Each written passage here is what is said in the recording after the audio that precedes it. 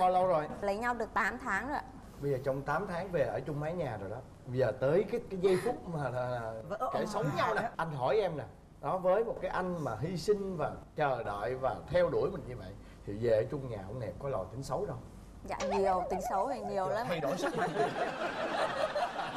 Thấy không nước mắt đang đang linh cầu đang đỏ hoe vậy. Ồ có tính xấu không? Dạ xấu lắm anh ơi. Biết cải thái độ liền. Rồi. Dạ, ừ, tại vì trước khi cưới anh cũng hứa là anh sẽ cố gắng quan tâm em nhiều hơn chứ không có như hồi xưa nữa. Thì lúc đấy thì tin tưởng dữ lắm. Anh này chắc là rút kinh nghiệm rồi chia tay một năm cơ mà.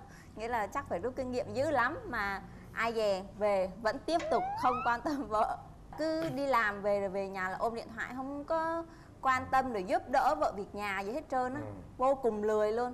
Ở nhà thì em đã đi chợ nấu ăn. Em thấy việc gì cũng tới tay hết rồi giả sử như cái rác nó đầy quá rồi. Nhìn thấy trước mắt cũng hở không có làm. Xong rồi em bực quá em phải quát lên. Anh có thấy hay không vậy? Rác vậy sao mà hở không chịu đổ. Mọi việc em đã làm hết rồi. Cái xong đổ được một hôm. Xong. Một hôm? Dạ tiếp tục hôm sau không đổ không ra đổ nữa. Coi như là vẫn vô tâm này vẫn ờ, gọi là ờ, lười biếng như vậy. Dạ. tại sao em lại chia sẻ công việc né né tại sao né? hỏi sao vậy. né? Á. đợt thì em làm về muộn đấy 7 đến 8 giờ mới về. Nên ờ, mỗi lần về thì vợ nấu ăn hết còn nên nhiều lúc thì cũng lười vậy. Kêu về á, việc nhà á là việc của đàn bà không có phải là việc của đàn ông. Hơi hơi gia Nên- trưởng rồi đúng không? nên là anh không muốn làm. Cái phải khi nào mà vợ nhắc thì mới làm thôi à rồi bây giờ tính xấu của cô ấy. Đúng rồi đó. Cho thiên nói thử coi vợ em xấu tính cái Cái tính của bà thì ờ, nói chung là cẩu quát nó to lắm. Nói chuyện bình thường hoặc là nói gì đó thì phải quát cho to lên. Nói chung nhỏ nhẹ thì không được nhưng đây phải nói bự.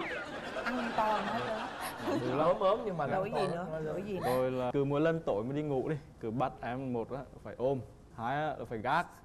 Ba là phải gài này rồi cứ ngủ tức là em gác cho cổ Dạ. em gác cổ Dạ. là bắt em em gác dạ bắt em ôm dạ ừ thì giờ em ôm em gác rồi thì em phải gãi cho người ta cái này duyệt cái này duyệt duyệt còn gì xấu nữa hay quên ví dụ giận nhau đấy bà đang giận mình vẫn như bà quên đấy. em tới mò tới bà kêu hỏi ờ, em làm làm gì vậy thì bà trả lời bình thường không có chuyện gì hết ừ, Rồi, rồi, rồi xong rồi kêu "Ơ, em quên đang giận anh rồi em quên luôn lặng trí đó dễ thương ờ ờ có nghĩa là đang giận tự nhiên mà nhiều chuyện quên lắm. Ôi nhưng mà tới khi hết hồn mới sực nhớ là mình dạ đang giận dạ. ổng là có im tới, đúng không? tới lúc đó kìa. Ôi chết em đang giận anh mà. Sao tự nhiên nó chơi anh chi vậy? Thôi bây giờ em mong muốn ở vợ em thay đổi điều gì? Thiên. Biết ờ, chăm lo cho mình ờ, tử tế hơn.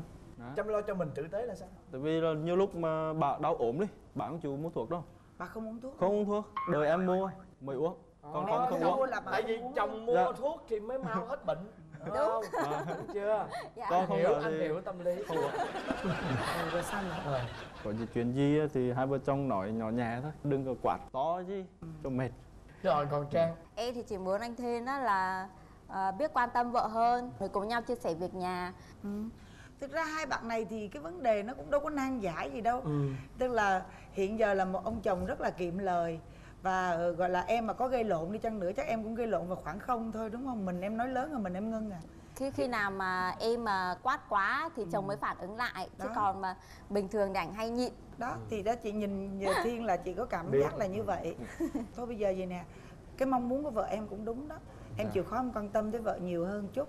À, nhiều khi tại vì vì em kiệm lời vì em không quan tâm cho nên nó mới thích nói lớn vậy đó. Nói để cho em phải quan tâm đúng không? Dạ, mà nếu mà thương vợ thì phải để cho ở vợ nhà mà nói vui lại. cửa vui nhà thì em Đó. phải là người chủ động nói. Đó. Cho nên nếu mà thương vợ thì phải để cho vợ bớt nói lại để cho mập mạp ra đó. Cho nên nãy là có một cái chi tiết em thấy khi vợ em nhớ lại cái quá khứ mà vợ em khóc luôn đó là em hiểu là vợ em thương em như thế nào. Cho nên rằng á là khi tụi em có được lại nhau á thì cố gắng giữ. Dạ. ha cố gắng và phải mãnh liệt hơn nữa để mau chóng có thành viên mới ra đời nha. Dạ em cảm ơn. Rồi cảm ơn Rồi, hai cảm em. ơn tụi em